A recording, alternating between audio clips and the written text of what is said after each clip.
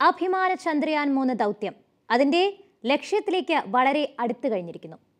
അതേ വിക്ഷേപിച്ചതിന് ശേഷം ചന്ദ്രനിലേക്കുള്ള ദൂരത്തിന്റെ മൂന്നിൽ രണ്ട് ഭാഗവും വിജയകരമായി പിന്നിട്ട ചന്ദ്രയാൻ മൂന്ന് പേടകം ശനിയാഴ്ച വിജയകരമായി ചന്ദ്രന്റെ ഭ്രമണപഥത്തിൽ പ്രവേശിച്ച വാർത്ത നാം അറിഞ്ഞു.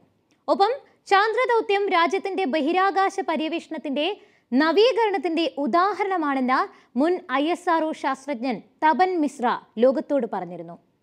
ബഹിരാകാശ പര്യവേഷണത്തിന്റെ അടിസ്ഥാനം തന്നെ ഇതോടെ ഐ എസ് ആർഒയിലൂടെ വികസിക്കുകയാണ്. കൊൽക്കത്തയിൽ സംസാരിച്ച മിശ്ര മറ്റൊരു പ്രധാന കാര്യം കൂടി ലോകത്തോട് പങ്കുവച്ചു. ഭൂമിയുടെ ഭ്രമണപഥത്തിൽ നിന്ന് ചാന്ദ്ര ഭ്രമണപഥത്തിലേക്ക് ചന്ദ്രയാൻ കടന്നത് ഒരു സ്ലിംഗ് ഷോട്ട് മെക്കാനിസത്തിലായിരുന്നല്ലോ. നമ്മുടെ റോക്കറ്റുകൾ അതായത് ലോഞ്ച് വെഹിക്കിൾസ് ഇന്ത്യയുടെ ലോഞ്ച് വെഹിക്കിൾസ് അത്ര ശക്തമല്ല. റോക്കറ്റുകൾ ഭൂമി വിടുമ്പോൾ കൂടുതൽ സഞ്ചാര വേഗത കൈവരിക്കാൻ അവയ്ക്ക് പതിനൊന്ന് ദശാംശം രണ്ട് കിലോമീറ്റർ പ്രവേഗം വെലോസിറ്റി ആവശ്യമാണ് ഇന്ത്യയുടെ വിക്ഷേപണ വാഹനങ്ങൾ അത്തരം വേഗതയിൽ പ്രവർത്തിക്കില്ല അതുകൊണ്ടാണ് സ്ലിംഗ് ഷോട്ട് മെക്കാനിസം സ്വീകരിച്ചതെന്ന് മിശ്ര മാധ്യമങ്ങളോട് പറഞ്ഞു sling slot mechanism. We'll go into elliptical orbit around Earth and then increase it over a period. Almost 15 days to change it to a position where it could achieve the escape velocity and then it could come out of Earth. Then it is a free flying towards the moon. But once you reach the moon, the, we have to reach in 100 kilometer. We cannot go just like that. It is a called that uh, it is exactly the way we have left Earth. We have to reach Earth's moon or the moon orbit in exactly opposite way. Now when it reached, it is the maximum elliptical major axis. And then we have to say while es- escaping from earth you know we have to do a, a booster fire. That is we have to increase the velocity. Now to getting captured by the moon we have to now do a retro fire that fire the rocket engine in the opposite direction to reduce its velocity. And then almost by six such trials it will be it will be able to reach the 100 kilometer orbit. The, while on Earth, you know, it was very easy to, because the distance is smaller. So our antennas and systems could measure the Earth's, the orbital parameters precisely. But the, now the distance is very large, 3.4 lakh kilometers from Earth. Now from that antenna, when you measure from this distance, the accuracies are poor. So we have to observe for larger period and then fire thrusters. So this will take today it is uh, 5th August and then probably tomorrow they will start as, as first uh, retro fire and uh, this will continue till 23rd. It, is, it will take almost 20 days. ഭൂമിയിൽ നിന്ന് വളരെ ദൂരെയുള്ള ലക്ഷ്യസ്ഥാനങ്ങളിലേക്ക് അഥവാ ചന്ദ്രൻ ചൊവ്വ മുതലായവയിലേക്ക് അതിന്റെ ബഹിരാകാശ പേടകത്തെ എത്തിക്കുന്നതിന് Indian ബഹിരാകാശ agency I S R sling shot രീതിയാണ് ഉപയോഗിച്ചു പോരുന്നത്. ഇത് ശാസ്ത്രീയമായി ഹോഹ്മാൻ ട്രാൻസ്ഫർ ഓർബിറ്റ്സ് എന്നറിയപ്പെടുന്നു. ശക്തിയേറിയതും ഭാരമേറിയതുമായ റോക്കറ്റുകളുടെ അഭാവത്തിൽ ഇന്ത്യയ്ക്ക് അതില്ലല്ലോ.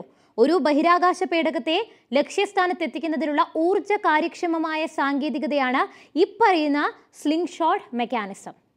അതിശക്തമായ റോക്കറ്റുകൾ അമേരിക്കയുടെ ബഹിരാകാശ വിക്ഷേപണ സംവിധാനത്തിൽ ഉള്ളതുപോലെയുള്ളവ ഉപയോഗിച്ച ഒരാഴ്ചയ്ക്കുള്ളിൽ ചന്ദ്രനിലേക്ക് ഒരു കൂറ്റൻ ക്രാഫ്റ്റ് നാൽപ്പത് ടണ്ണിനടുത്ത് ഭാരമുള്ള പേടകങ്ങളെ എത്തിക്കാൻ കഴിയും. ഇന്ത്യയുടെ എൽ വി എം ത്രീ റോക്കറ്റിന് ആഗോള സൂപ്പർ ഹെവി റോക്കറ്റുകളുടെ ലിഫ്റ്റിംഗ് പവറിന്റെ ഒരു ഭാഗം മാത്രമേ ഉള്ളൂ. എന്നതിനാൽ ഇന്ത്യൻ ബഹിരാകാശ ഏജൻസി അതിന്റെ മൂന്ന് ദശാംശം ഒൻപത് ടൺ ക്രാഫ്റ്റ് ചന്ദ്രനിൽ എത്തിക്കാൻ സമയമെടുക്കുന്ന ഒരു രീതി ഉപയോഗിക്കുകയാണ്. ഇതിന് ഒരു മാസത്തിലധികം സമയമെടുക്കും. ലഭ്യമായ ഉപകരണങ്ങളും വിഭവങ്ങളും ഉപയോഗിച്ചാണ് ഇന്ത്യ മുന്നേറിക്കൊണ്ടിരിക്കുന്നത്. ഓർക്കുക ചന്ദ്രനും ഭൂമിയെ വലം വയ്ക്കുന്നുണ്ട് നമ്മൾ വിട്ട ബഹിരാകാശ പേടകം ചന്ദ്രയാനും ഭൂമിയെ ചുറ്റുന്നുണ്ട്. അതിനാൽ പേടകവും ചന്ദ്രനും ഒരു നിശ്ചിത സമയത്തും സ്ഥലത്തും കണ്ടുമുട്ടേണ്ടി വരും. ആ കൂടിക്കാഴ്ച ഒരിക്കൽ സംഭവിച്ചു കഴിഞ്ഞാൽ ക്രാഫ്റ്റ് ചന്ദ്രന്റെ ഗുരുത്വാകർഷണത്താൽ പിടിക്കപ്പെടുകയും അത് ചന്ദ്രനെ ചുറ്റാൻ തുടങ്ങുകയും ചെയ്യും. ഇതിൽ തന്നെയാണ് ഇന്ത്യ വിജയം കണ്ടിരിക്കുന്നത്. ചാന്ദ്ര ഭ്രമണപഥത്തിലെത്തിയ ചന്ദ്രയാൻ മൂന്നിന്റെ ആദ്യഘട്ട ഭ്രമണപഥം താഴ്ത്തൽ ഇന്നലെ നടന്നു. രാത്രി ഏകദേശം പതിനൊന്ന് മണിയോടെയാണ് ആദ്യഘട്ട ഭ്രമണപഥം താഴ്ത്തലിന് ഐ എസ് പദ്ധതിയിട്ടിരുന്നത്. ചന്ദ്രനിൽ നിന്ന് കുറഞ്ഞ ദൂരം നൂറ്റി അറുപത്തിനാല് കിലോമീറ്ററും കൂടിയ ദൂരം പതിനെട്ടായിരത്തി എഴുപത്തിനാല് കിലോമീറ്ററുമുള്ള ദീർഘവൃത്താകൃതിയിലുള്ള ഭ്രമണപഥത്തിലാണ് പേടകം ഇപ്പോഴുള്ളത്. അതിൽ നിന്നാണ് ഒന്നാമത്തെ ഘട്ടം വീണ്ടും കുറയ്ക്കുക. വരും ദിവസങ്ങളിൽ അഞ്ച് ഘട്ടങ്ങളിലായി ഭ്രമണപഥം താഴ്ത്തി പേടകത്തെ ചന്ദ്രന്റെ നൂറ് കിലോമീറ്റർ അടുത്തുള്ള വൃത്താകൃതിയുള്ള ഭ്രമണപഥത്തിലേക്ക് എത്തിക്കുകയാണ്. ഇവിടെ വെച്ചാണ് ലാൻഡറും പ്രൊപ്പൾഷൻ മോഡ്യൂളും വേർപിരിയുക. പ്രൊപ്പൾഷൻ മോഡ്യൂളിൽ നിന്ന് വേർപെടുന്ന ലാൻഡർ ഏത് നിമിഷവും ലാൻഡിങ്ങിന് തയ്യാറാണ്. ഭൂമിയുടെ ആകർഷണത്തിൽ നിന്ന് പുറത്തു കടന്ന ചന്ദ്രയാൻ മൂന്ന് പേടകം ശനിയാഴ്ച രാത്രിയാണ് ചാന്ദ്ര ഭ്രമണപഥത്തിൽ എത്തിയത്. ലൂണാർ ട്രാൻസ്ഫർ ട്രാജക്ടറിയുടെ സഞ്ചരിക്കുകയായിരുന്ന പേടകം ലൂണാർ ഓർബിറ്റ് ഇൻസേർഷൻ വിജയകരമായി പൂർത്തിയാക്കിയതോടെ ചാന്ദ്ര ഭ്രമണപഥത്തിൽ പ്രവേശിച്ചിരിക്കുകയാണ്. വൈകിട്ട് ഏഴ് പന്ത്രണ്ടിനാണ് പേടകത്തെ ചാന്ദ്ര ഭ്രമണപഥത്തിലേക്ക് മാറ്റുന്ന റിട്രോ ബേണിംഗ് പ്രക്രിയ ആരംഭിച്ചത്.